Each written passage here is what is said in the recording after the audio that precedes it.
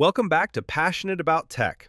In this video, we're exploring how to set up Kali Linux inside VirtualBox, perfect for anyone interested in cybersecurity, ethical testing, or exploring advanced tools.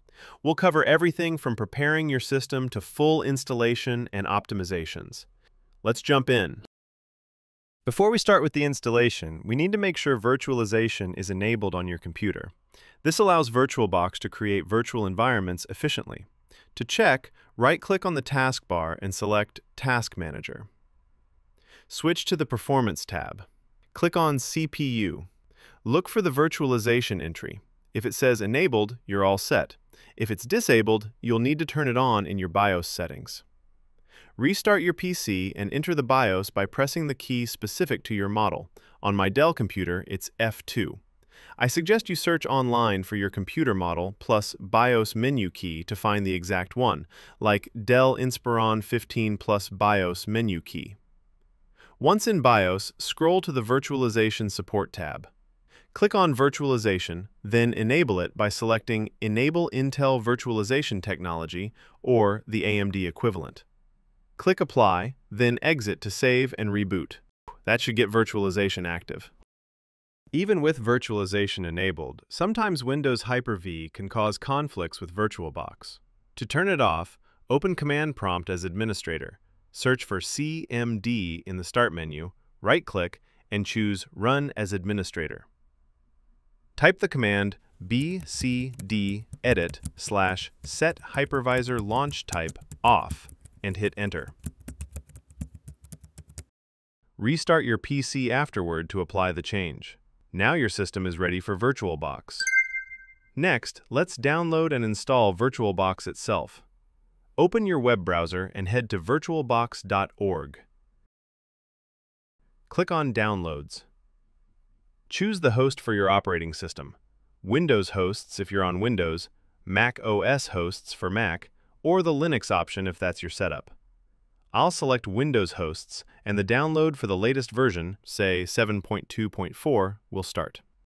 While that's going, we also need the VirtualBox extension pack for extra features like USB 3.0 support, shared clipboard, and improved overall speed. On the same page, click to accept the terms and download it. Once the files are ready, locate the VirtualBox setup in your Downloads folder. Double-click to launch the installer. Keep the default options and click Next through the prompts. Click Finish when it's done. Now for the extension pack. Open VirtualBox, click on the Extensions tab, then hit the plus icon to add a new one. Browse to your Downloads folder, select the extension pack file, and click Install. Scroll through the agreement, click I agree, and let it complete. VirtualBox is now fully equipped. With VirtualBox set up, it's time to grab the Kali Linux ISO. Go to kali.org slash get-kali in your browser. You'll see options for installer images or pre-built virtual machines. We're going with the installer image because it gives you full control. You can pick your desktop environment and select specific tools during setup. Click on the 64-bit installer ISO for the latest release. The download might take a bit since it's a large file, around 5 gigabytes, so be patient. Now that the ISO is downloaded, let's create a new virtual machine in VirtualBox. Open VirtualBox and click New. In the Name field, type Kali Linux. Leave the machine folder as default. Set OS to Linux. For OS distribution, choose Debian. Then Debian 64-bit for OS version. Click on the Specify Virtual Hardware tab. Now, for memory allocation, the minimum is 2 gigabytes, but for solid performance, aim higher. Since my system has plenty of RAM, I'll set it to 8 gigabytes. But remember, don't go over half your total RAM to avoid slowing your main system. Next, for processors, assign at least two cores, but up to half your available ones. My PC has four cores, so I'll allocate two cores here for balance. Click Specify Virtual Hard Disk. For the hard disk, create a virtual one now. Set the size to at least 25 gigabytes, but 50 gigabytes is better if you have room for tools and files. Click Create. Your VM is basic now, but let's optimize the settings. Select the Kali Linux VM and click Settings. In general, under Features, set Shared Clipboard and Drag and Drop to Bidirectional for easy copying between host and guest. In Display, slide video memory to 128 megabytes max. Under Storage, click the empty optical drive, then the CD icon. Choose Choose a disk file and select your Kali Linux ISO.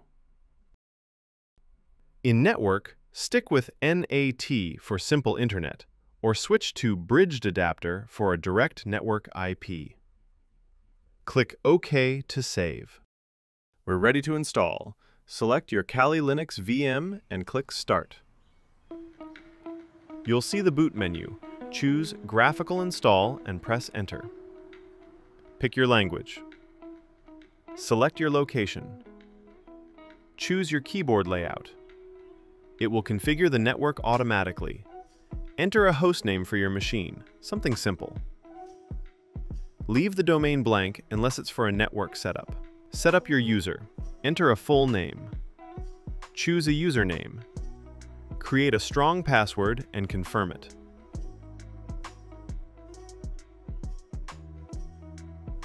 For partitioning, go with Guided. Use entire disk for beginners. Select your virtual disk. Choose All Files in one partition. Review and select Finish Partitioning and write changes to disk. Confirm with Yes. The base install will begin. Expect 10 to 15 minutes. Once the base is in, select Software. For desktop, default XFCE is lightweight and great for VMs with limited resources. GNOME is more modern but needs at least 4 gigabytes RAM. KDE is highly customizable, like Windows, but resource heavy. I'll stick with XFCE. Include other tools as needed. Then, install the GRUB bootloader. Select Yes. Choose your virtual disk. Let it install. When complete, click Continue to reboot. At login, enter your username and password. You're in the desktop. For a better view, press right Control plus F to go full screen. Press it again to exit. Now, update everything. Open Terminal. Type sudo apt update double ampersand sudo apt upgrade dash y and hit enter. This command will be on screen. It fetches updates. Time varies by connection. Adjust display scale in settings to 1.25. It should work smoothly. That's it. You've got Kali Linux installed and optimized in VirtualBox, ready for exploration. Drop a comment on your experience, and I'll see you next time. Stay passionate about tech.